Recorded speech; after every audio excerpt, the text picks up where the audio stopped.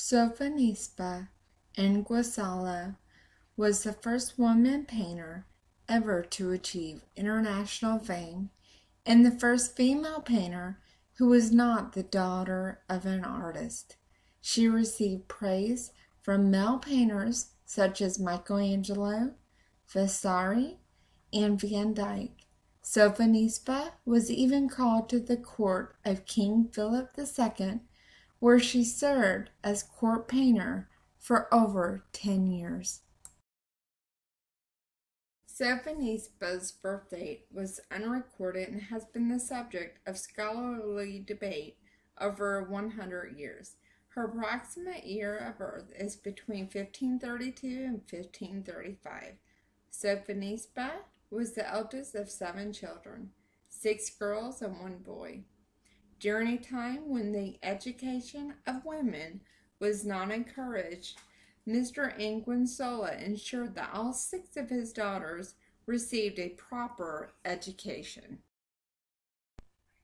Whatever the motive, Sofonisba's father set a precedent when he sent his two oldest daughters to study under Bernardino Campi. Sofonisba was 14 at the time. A few years later, Sofonisba painted an intriguing self-portrait of her teacher painting her. Sofonisba has Campi look out of the painting at us. In this context, we become Sofonisba herself, the active maker of this painting. Sofonisba thus plays both the role of the subject and object the viewer and the viewed in this painting. After the three-year apprenticeship, Sofonisba taught her younger sisters to paint.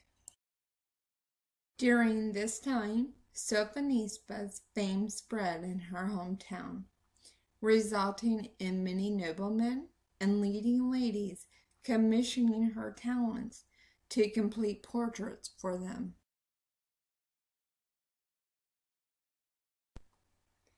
As her reputation and notoriety grew, so did the demand for self portraits, of which she produced more than any other artist. It is believed that her father also used these self portraits to advertise Sofonisba's talents. Sofonisba illustrated herself as a woman of virtue by identifying herself in a number of paintings as Virgo. During the Renaissance era, female virtue was understood to include obedience, modesty, and silence. Her demeanor and simple dress, usually a near black jacket with a white lace collar, conformed to these aspects of virtue. The self portraits also show her proficiency in letters, music, and painting a self-portrait in which Sofonisba holds a small book with the inscription Sofonisba Anguissola made this herself in 1554. The small size of the book suggests a devotional book or a book of love sonnets. Either would have been appropriate reading for a woman of her station.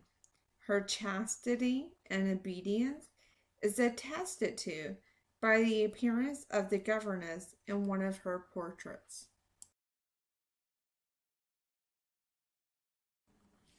Sofonisba depicts herself painting an image of the Madonna and Child, besides attesting to her skills as an accomplished painter. This painting also suggests her devotion it is significant to note that the religious paintings she produced are not narrative representations, but rather devotional images. Simply stated, she painted religious themes because of her piety, not because she was commissioned to do so. Sofonisba's father sent Michelangelo a drawing of a laughing girl. Michelangelo was impressed, but he challenged her to depict the opposite emotion, which was more difficult. In response, Sofonisba sent a drawing boy pinched by a crawfish. Sofonisba's father sent letters to Michelangelo acknowledging the attention Michelangelo paid to Sofonisba. He gave reports of her progress and he thanked Michelangelo for his advice and praise of Sofonisba's work. Sofonisba's masterwork, an intimate conversation piece entitled The Chess Game, introduced naturalism to the traditionally stiff home scenarios that were produced by her contemporaries. The painting shows her sisters in a competitive mode playing chess, which was popular among nobles since the early Renaissance.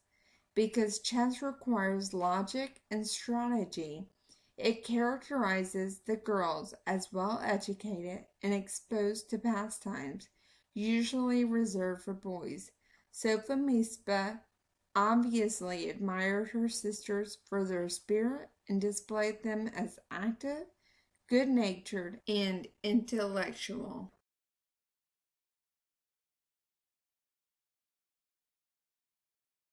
During her twenties, Sofonisba was called to court as a lady in waiting and court painter by King Philip II, Europe's most powerful king.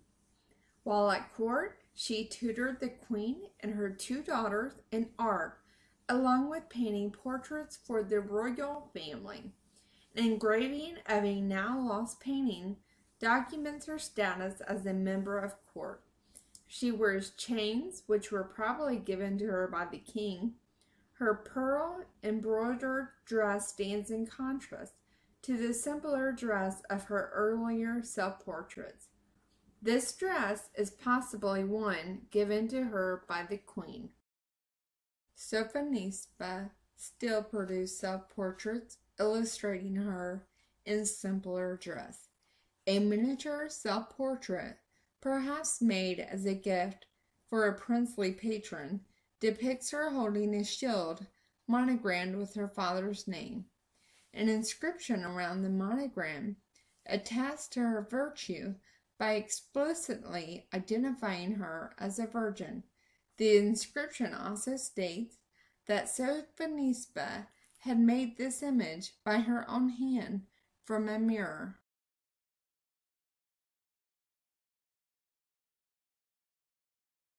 Queen Isabel's father, Pope Pius IV, hearing of Sofonisba's talent, requested a portrait of his daughter. Upon receiving the portrait, the Pope sent back expensive gifts along with a letter praising Sofonisba's talent. Throughout the fourteen years Sofonisba remained in the royal court, she was admired by all. King Philip arranged Sofonisba's marriage to a Sicilian nobleman. She received gifts and a dowry from their royal family. This small fortune enabled her to continue working and tutoring would-be painters. Also, these funds supported her family, which included her brother after their father's death. Sofonisba's marriage lasted for approximately eight years. It ended with her husband's passing. King Philip tried to persuade Sofonisba to stay in Spain. However, she was determined to return home. During her voyage home, she fell in love with the captain of the ship. They were married at port where they remained. Sofonisba stayed active artistically. She welcomed many artists into her home and parlor, whom she advised on techniques. Sofonisba produced paintings well into her 80s until her eyesight dimmed. Upon Sofonisba's passing, her adoring second husband described her as small of frame, yet great among mortals. While Sofonisba was regarded as somewhat a wonder in her own time, she was largely forgotten by later generations. This brilliant artist encouraged the instruction of other girls in the arts and paved the way for women in a male dominated field. So Phanespa and Gonzala should be regarded as a formidable influence not only in the world of art but also helping to establish the equality of women.